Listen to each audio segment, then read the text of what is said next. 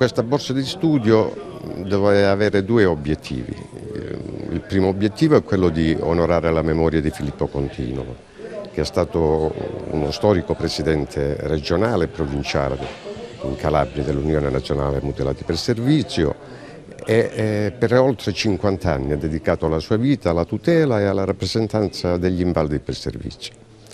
Il secondo obiettivo è quello di sostenere economicamente eh,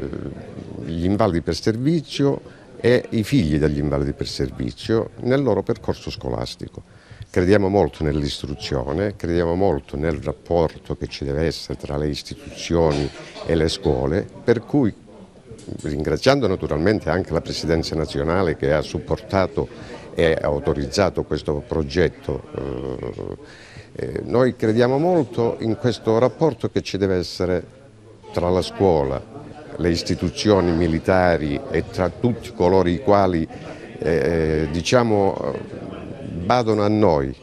eh, nel nostro contesto. In Italia e anche all'estero con le varie missioni di pace che ci sono oggi soprattutto in questo La provincia e la regione hanno sostenuto questo progetto? La provincia e la regione, la provincia e il comune di Catanzaro, la regione ha sostenuto questo progetto con patrocini gratuiti naturalmente e eh, noi eh, già dalla, da parte della regione percepiamo un cospicuo contributo per quanto riguarda le nostre attività. Cercheremo adesso di portare avanti questo progetto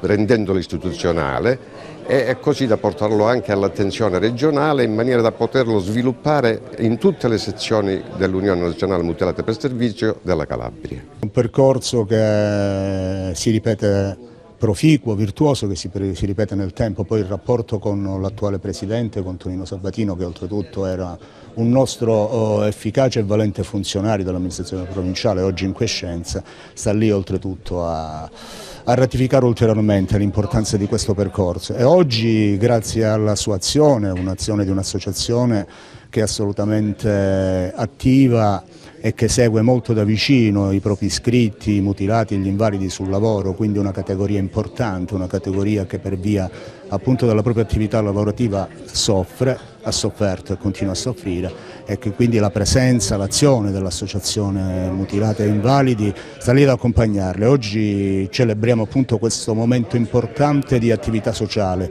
cioè eh, la realizzazione di un percorso di eh, borse di studio che verrà appunto individuare i valenti